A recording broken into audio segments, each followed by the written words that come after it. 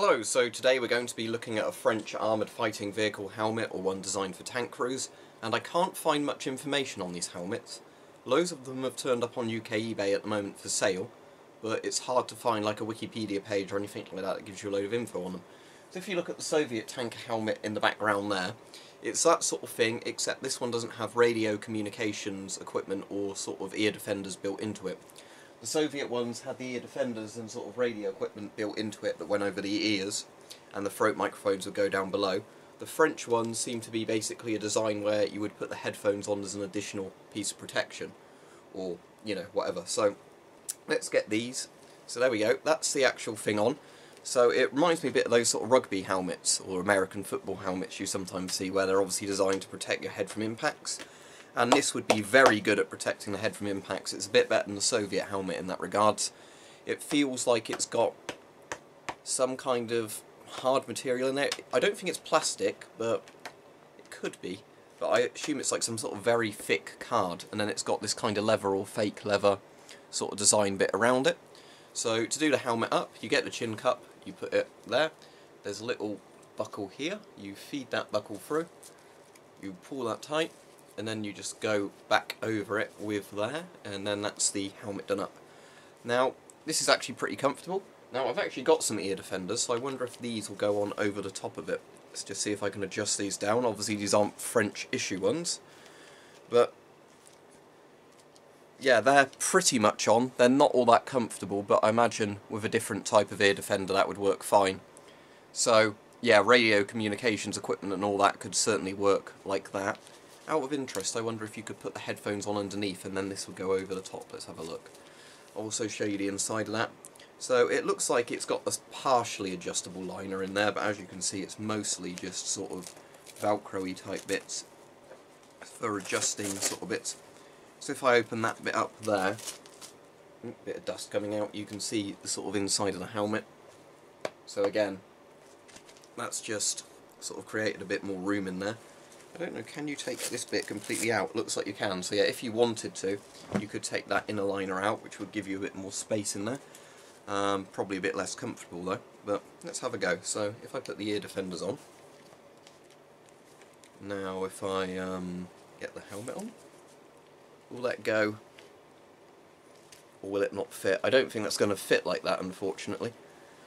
I'll just see if I, without putting my head in, if there's a way of squeezing the ear defenders through the holes.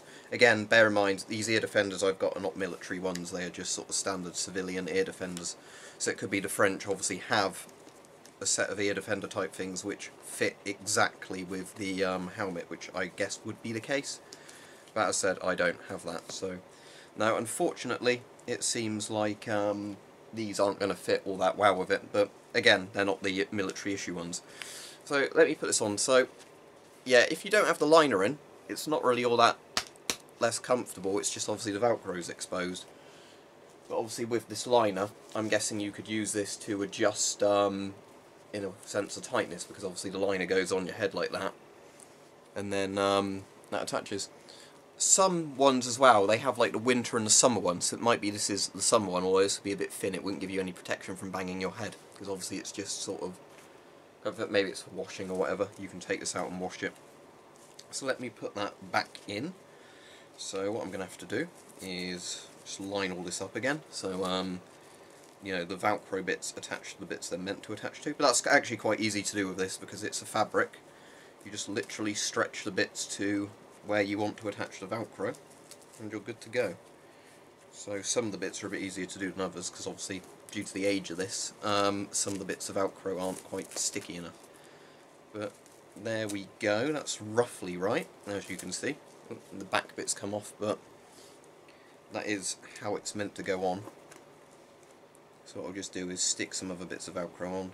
There we go. And that is pretty much right. It's not exact, but it does mean that when I put this back on, the bits line up, and as I push my head into it, yeah, it's kind of disattached some bits and reattached other bits, so... There we are. But that's back as it was, roughly. Just those bits aren't quite lined up. So, it looks like there's a slightly adjustable thing on the outside, so let's have a look at that. Because as this has no radio communications or anything built into it, there's not too much you can say about it. Uh, but saying that, this literally doesn't attach to anything. So maybe it's for a wire to tuck it behind your head or something. But yeah, this is quite a nice thing if you wanted a hard hat style thing. Obviously I wouldn't recommend this for construction style stuff. But these are very good as sort of equivalent of bump caps or whatever, especially if you can get these for like £20 on the surplus market. Um, it seems to be, I'd say, better quality materials than the Soviet style one. That's an East German one there. The problem I had with that is it's the fake leather stuff they put on the East German one, it constantly peels off and like sheds its skin everywhere. Um, but yeah, this is quite nice in all honesty. I don't know if it's real leather or fake leather, but yeah, it's sort of a dark green, quite nice leather material. Again, some cracking to the outside, but not all too bad considering this is probably something from like the 1970s to fairly modern. The French also have some more military style armoured fighting vehicle helmets, but this is clearly not one of those, so I assume this is one that probably has now come out of service because they're replacing them with more of the, you know, actual military style helmets um, for tank crews, rather than actually just giving them the kind of bump protection caps. Because for those of you that don't know, the whole purpose of things like this in tank crews is it was discovered in World War II that tank crews that didn't have helmets like this had much higher casualty rates because if there was an impact that shook the tank, or just from people standing up and sitting down too quickly, they could bang their head on the metal and, you know, cause head injuries or head trauma or potentially even kill yourself from banging your head too hard on metal.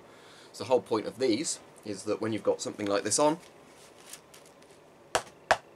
it protects your head from, um, you know, protects you from smashing your skull in basically on a bit of a tank, especially if it, the tank went over a bump and your head went like that and then bashed into something. So it's like an impact helmet really. So offers no protection for ballistics or anything like that, but it's quite a cool thing for it. Is it's actually very comfortable. If I manage to get the liner back in properly at some point, it will be very, very comfortable. But as it stands, yeah, I like it. Again, as I said, the only annoying thing is my ear defenders don't fit with it, but again, I'm not going to be wearing this in an actual tank. Um, I'm just going to fully extend my ear defenders and just try it again, just in case I can get them over, but I think that's probably going to be unlikely. But let's just have one more go. Because as I said, there, they almost go over, but not quite. I don't know if... I suppose, yeah, you could turn them at a bit of an angle, and then they'd be totally over. Because it sounds like it's totally blocking my sound off, but yeah. But there you go. French tank helmet. Pretty cool thing. Um, and as said, it's just something that's turning up cheaply on the surplus market now. And, you know, for what it is, they're quite cool. Because lots of people seem to like tank helmets. But unfortunately, the Soviet, East German and Warsaw Pact ones sometimes are quite expensive. So if you wanted something similar, that, you know, didn't cost as much, then these might be an option. But bear in mind, obviously, this doesn't have communications equipment built into it. One of the cool things of the Soviet one is the microphones and headset are actually all built into the helmet itself.